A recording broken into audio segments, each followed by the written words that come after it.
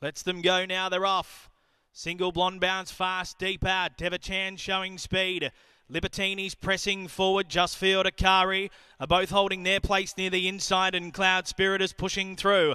They're followed then by Persepolis inside of Regimental Band. Love Me Quietly well back from Flotus.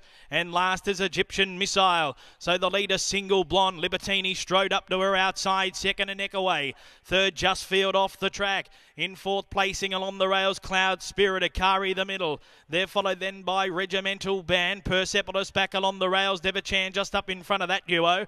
They're followed Egyptian Missile, Flotus. And at the end, Love Me Quietly. Single Blonde cornered well into the straight. Led a length into half on Libertini. Berry hasn't moved on the favourite just yet. Two lengths away, then Justfield, and then came Akari, Regimental Band, and Egyptian Missile. But now we ask the question of Libertini, and she exploded away. Race three clear. Regimental Band render second. Justfield battles away, but she is a star. Libertini eased down in a hand canter. One by two and a half.